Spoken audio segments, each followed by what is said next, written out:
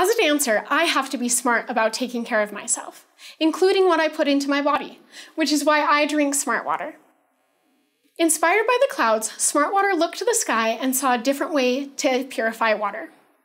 It's vapor distilled, meaning that the water I drink is cleansed the natural way.